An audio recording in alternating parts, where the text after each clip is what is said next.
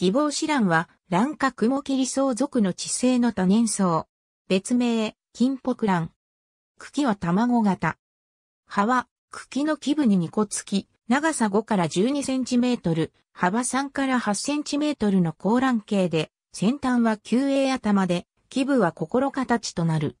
葉の表面の葉脈の間がくぼみ、縦じわが目立ち、一見義母子の葉を思わせる。夏季は7から8月。花茎は直立し、開花時の高さは15から30センチメートルになる。先端に5から25個の単光緑色の花を層状につけ、果樹は暗緑褐色になる。ツとは長さ1.5から2.5ミリメートルの非心状三角形で A 線頭となる。学辺は線状長楕円型で先は鋭形、長さ5ミリメートルになり、単緑色で円が外側に巻く。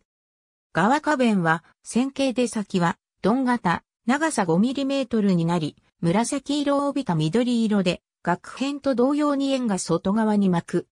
新弁は、東乱状くさび型で、円筒、円は、細かな死画があり、長さ5ミリメートル、基部の左右に2個の突起がある。新弁は、単緑色であるが原部の中央部分の溝に、暗視色の帯状の着色部分がある。髄中は長さ 3.5mm になり、紫色を帯びた緑色で、やや湾曲し、狭い翼がある。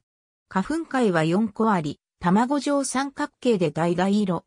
薬棒は単緑色をしている。日本では北海道、本州、四国、九州、伊豆諸島に分布し、低温帯から暖温帯の常緑紅葉樹林内の湿度のある林床、または湿原などに生育する。時に群生することがある。国外では台湾、チェジュ島に分布する。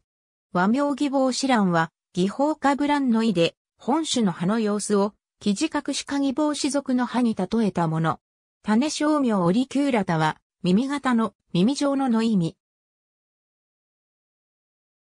古くは、本種の学名リパリスオリキューラタは、同族の雲切り草に当てられていたが、前川文夫は、植物研究雑誌ボリューム12において、腹記載に、いれば洋箱乱形にして、単角線ルンヌンとある。現在この学名をもって小バレル雲切りそうではかかる、バッハブ、くすべて高楕円型から長楕円型で、先端は必ず、ラズド型まである。学名、オリキューラタの由来二席、してハナントーキス書、ガナイが要素この形質2期、ズクモノナルが俗にしわれるに印しても、外学名ハギバウシランに適用すべしと思いする。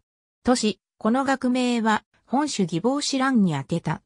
また、雲霧草は、筑波山の標本に基づいて、新たに、リパリス雲霧海メイクと命名記載した。